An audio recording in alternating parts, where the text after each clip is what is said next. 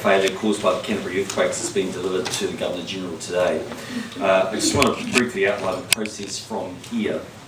The interim report will then be given to the Attorney General and ministers will be considering the report later this afternoon. A public release of the report will take place on Wednesday. I obviously haven't uh, yet had an opportunity to read the interim report, but I intend to take a look at it. The government will not uh, have ready a full response to the report on Wednesday, uh, but we will be taking a very close look at the report and we look forward to the full report of the Commission, which is due early next year. In terms of ministerial activity, in terms of my activity this week, uh, tomorrow I'm in Hamilton, uh, on Wednesday I'm in Kaura and Te Puke, on Thursday I'm in West Auckland, on Friday I'm back in Tauranga. Uh, finally, in relation to the Australian flag, you may have noticed behind me an Australian flag alongside the New Zealand flag here today. This afternoon I'm honouring a bet I had with Australian Prime Minister Julia Gillard on the NRL Grand Final, which I unfortunately lost.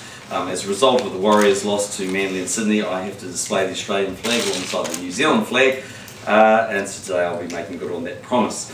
One thing, however, in no way does this indicate my support for the Wallabies this weekend uh, in the big semi-final against the All Blacks, and Julia Gillard and I have another bet on the Rugby World Cup, which you'll recall is the loser has to eat an apple uh, from the winner's country and speak effusively about its virtues.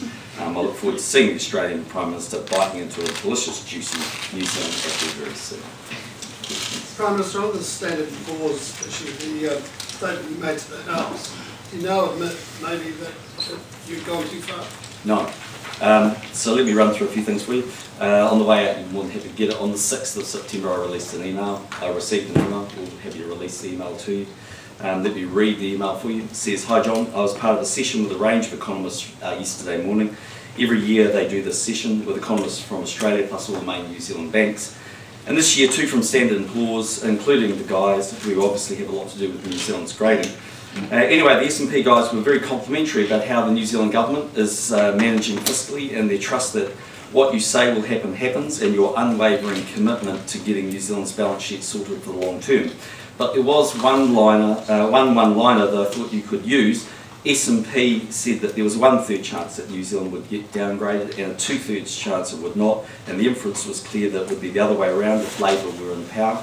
Uh, they discussed the impact on interest rates if New Zealand got downgraded and how they would quickly impact on the homeowner mortgage market. So there's much higher risk to New Zealanders that they will face higher interest rates under a Labour government. Don't know how you could use this, but uh, looks quite serious to me. The person is known to me, they're known to be very trustworthy. I rang the person, had a conversation with them, and it was related exactly as I relayed it in the House. in case you forget or forgot, my exact comments in the House were uh,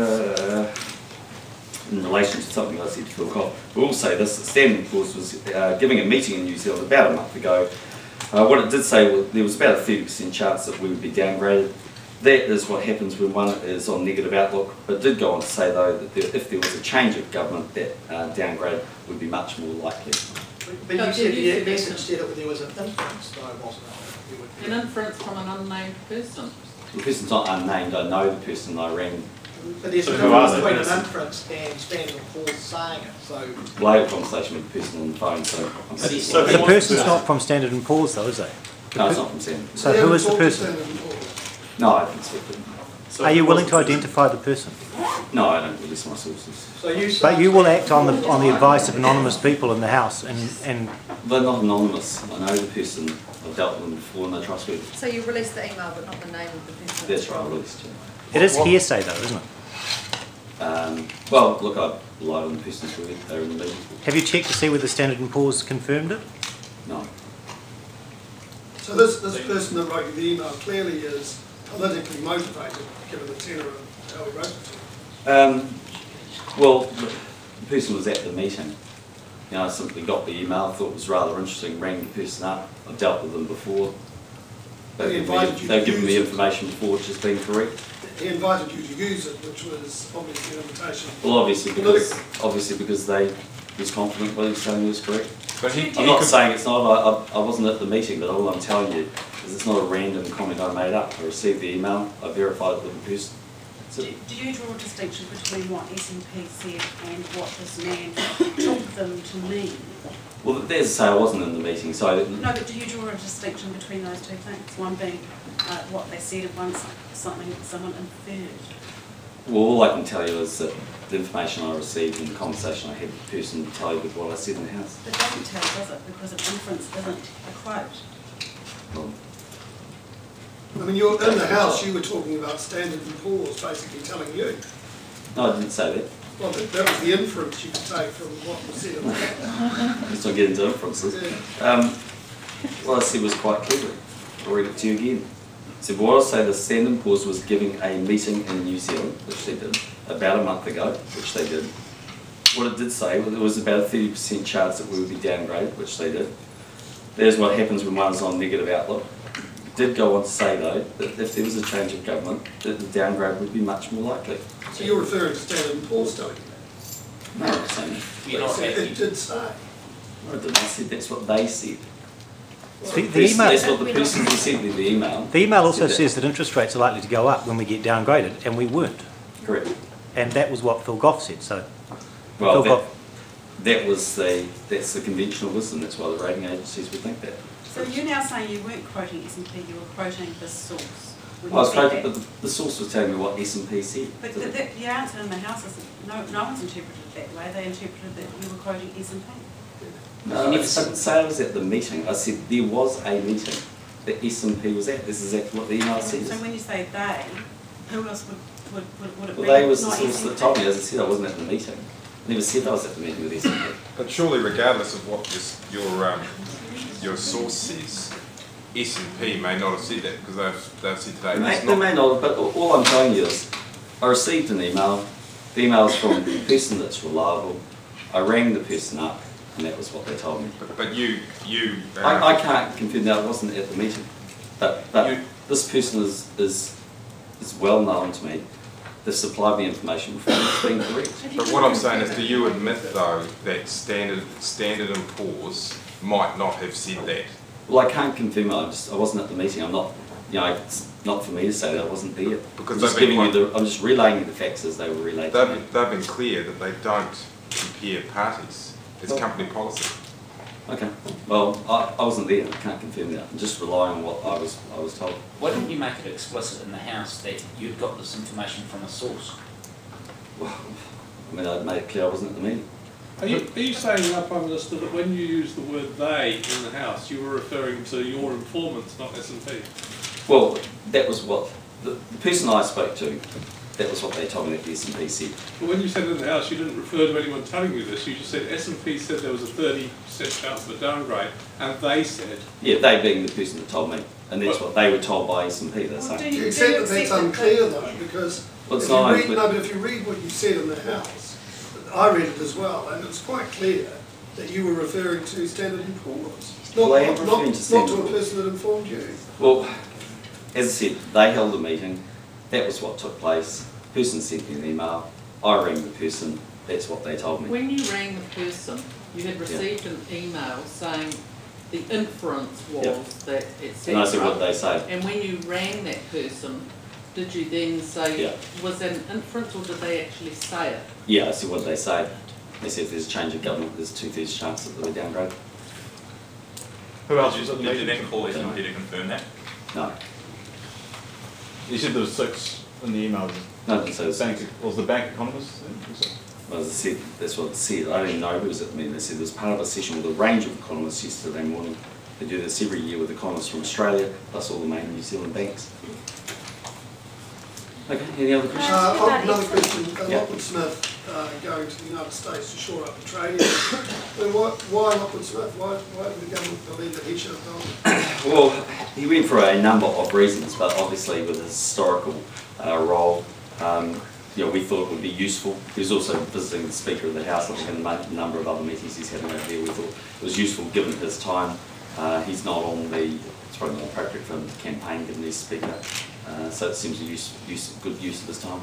Isn't the speaker supposed to be politically neutral? Well, I, I think he's trying to advance the cause for New Zealand. The last time I saw, you know, that Australia, uh, both um, Labor and National, you know, seem to be supportive of an FTA with the United States, so I thought that pretty neutral. But Labor has concerns about TPP. Well, you know, he, he's not negotiating the deal, he's just simply putting the case that, you know, FTA with the United States could be very useful to New Zealand. Prime Minister Bomber Bradbury's been banned from Radio New Zealand because he criticised you. What do you think think of that in terms of a? I didn't hear his comments on the radio and I don't know any, Do you know whether anyone in your office contacted Radio New Zealand? well, not to best my knowledge, I'd be highly surprised, but ask Radio New Zealand just over there. Do you think it's a good idea whether or not a person gets banned for criticising the Prime Minister from national radio? That's a matter for Radio Zealand, know, this being out there. Can I ask you about Epsom? Um, Yeah. Have you actually sort of, we talked to you previously about the strategy around Epsom with um, Rodney Hide standing. Is that still the same now? Well, National's position is that we'll be primarily going for the party vote in Epsom. Um, the last couple of elections, what's ultimately happened is that tactically, uh, there's been a uh, view from Epsom voters uh, of a national persuasion to give their party vote to National and to give the electorate vote to ACT. Um, I don't know what will happen in 2011. I guess, you know, like a lot of people, they'll take a look at what the situation is on the day and, and make a call. So you're saying you want national voters in Epsom uh, and the electorate vote to vote for John Banks? That's what you're telling them to do? No, I haven't said that. What I've said is our That's primary, exactly our, our primary vote is the party vote. In the end, the decision on who they give their electorate vote to is a matter for those voters. So you're not, as the National Party Prime Minister, urging them to vote for Paul Goldsmith? Uh, what I'm t- saying to them is I'm urging all national voters in Epsom to give their party vote to National. What they do with their electorate vote is a matter for them. Why don't you want them to vote for Paul Goldsmith as well? Two ticks national, because that's a campaign you've run before. Yeah, um, well, our primary vote right around the whole country is actually for um, a party vote. Uh, tactically, uh, some national voters in 2005 and 2008 did vote for ACT, and that was um, for obvious reasons, that they were under 5%, but of a significant enough margin to make a difference. It was obvious that they wanted to work with National. Um, that's the same position ACT has today. They've made it clear that they would work with a national government. Is that, is, is that advice? characterise your um, view of Don Brash as a member of your cabinet or as a minister in your government? Would you say enthusiastic or accepting? What, what word would you use? But I think we're, we're a little bit ahead of ourselves. I mean, we've got a general election to have on November 26th, and he has indicated that he wants to work uh, with National if he's in a position to do so, but he hasn't given an indication of, of how, how that might be. I mean, it's a, it's a support for confidence and supply, but as we've seen since we've had him in MP in 1996, that can take a variety of forms. You've Would you say you're comfortable people. with that idea? Oh, I, am I comfortable working with him? Would you be comfortable with having him in your cabinet or in your ministry? Oh, I mean, that, that, that would be for another day. I mean, uh, the, the first point, let's just see what actually happens post the election. I mean, there's obviously a range of options there, and one of those would be that they simply offer confidence and supply and everything else on a case by case You've basis. happily ruled out people prior to elections in the past, Roger Douglas and uh, Winston Peters. You're not going to that No. extent. Is that, is that advice on Epsom set in stone, or do you, would you review that advice in the light of any um, further polling, for instance? That's like, that- that's likely to be our position, you know, primary vote is the party vote and see what happens from there. Is that the only electorate that that's the case? Uh, I mean, our primary vote is the party vote right across the country. But you're not saying that to voters in Ohariu, for example. Uh, as I say, the primary vote, um, in our case, is the party vote. That's also true in Ohariu, but it's true actually everywhere. It's true in Helensville. Will you you campaign with Mr about- Goldsmith in Epsom? Sorry? Will you campaign with Mr Goldsmith? in Oh, I Epsom? already have, and I'm sure I'll do more in the future. Are you concerned at all about how it looks where effectively you're offering a lifeline, when, you know, when the party has has basically torn itself a asunder in the, in the past term? I'm not sure it's quite as cl- clear cut as that. I mean, I think the situation is that uh, in 2008, and I think it's also true in 2005, the primarily national voters of Epsom um, decided to, at least a significant majority of them, to give their electorate vote to uh, the ACT candidate, you know, that case Rodney Hide. Um, that may well be the case in 2011 with the ACT candidate being John Banks, but it'll be a matter for them. I think at the end of the day they'll, they'll take their own lead on, you know, I guess what they think on the day, what they think of the person and what they think the makeup of Parliament could or should be. That seems, The, to- uh, I mean, the on the face of muster- it, The forecast for the prison muster aren't as high as they have been, they're falling back. Yes. Is there still a need for a new prison specifically at Warringah? I mean, that's something that the government will need to consider um, in due course. I mean, we're obviously pleased by the, the, the um, falling numbers of prison inmates. Uh, I think that's a, a, great result on, and a reflection on some of the government policies that we've had.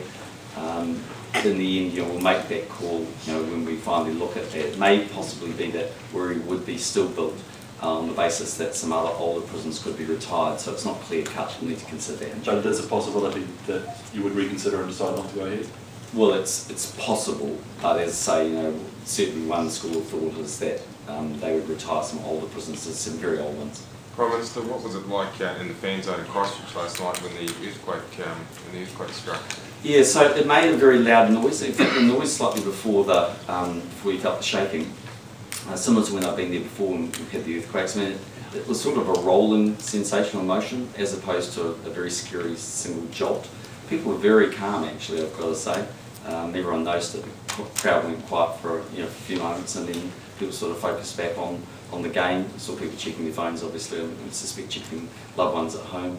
Um, at half time, um, the MC that was there, Simon Barnett, got up and, and, gave a bit of an update of you know, the size of the earthquake, where the epicentre was in, in Dunham Harbour, etc.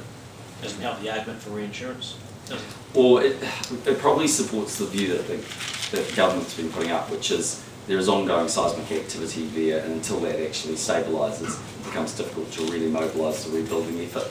Um, but we can use that time to do what we are doing, which is extensive planning and obviously demolition of damaged buildings. Will, will you consider having a, you know, like we did with Rodney Hide and Epsom before, will you consider having a sort of photo opportunity and a coffee with John Banks in that last week of the election It's campaign? Will possible. you consider it? It's possible we haven't made that decision yet.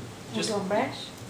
Um, it's possible we haven't made that decision. The interim report on the, uh, from the Royal Commission around the, um, the quote, would you anticipate um, some changes, um, say, before the election coming through, particularly, I mean, I guess that ties in with the reinsurance issue, doesn't it, to try and um, Yeah. build some confidence down there? Well, I honestly don't know what's in the interim report, I simply haven't seen it, so I hate to prejudge it. Um, you know, when we have an opportunity to see the report, then that would indicate, you know, what the likely government response is and under what timetable.